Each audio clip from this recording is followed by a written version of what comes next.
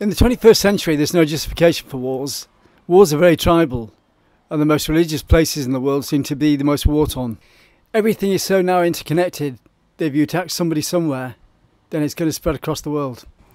Which means that wars are more liable to cause terrorism than anything else. Thanks a lot, cheers. Thank you very much. And what's this all about? There, there are prettier people to take photos of. no, uh, I, um, I cover everything to do with uh, humanity.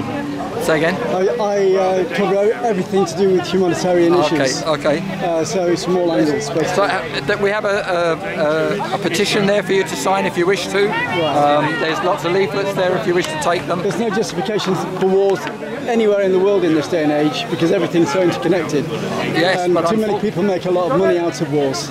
Indeed, and the US, um, the, the, the, Shanghai and HSBC Bank yeah. Uh, uh, support yeah. yeah, they, they, they, they are funding military uh, developments with Israel, yeah. um, which are used to kill 60 people well, the other day. We've also got people in the UK selling arms to these other countries as well. well. That's you know, there's the two sides deal. to every story, you it's, know. And, and like I said, there's no justification for wars in any angle in this day and age. No. Uh, you've got to find other ways of doing things. Absolutely. And, and lead by example as well. Absolutely. You know, arms against arms, it's like in America at the moment where uh, Trump's on about using arms. If you use arms against, and in the UK where the police are on about arming themselves as well in small That's suburb right. towns, you're creating a problem rather than solving That's it right. because you're making that the example You, to lead you by. indeed. Okay, you take care. indeed. Thank you very much. If you want to go look at our stall. This has been a Chris Summerfield video 2018. You can contact me at ccsphoto12 at hotmail.com.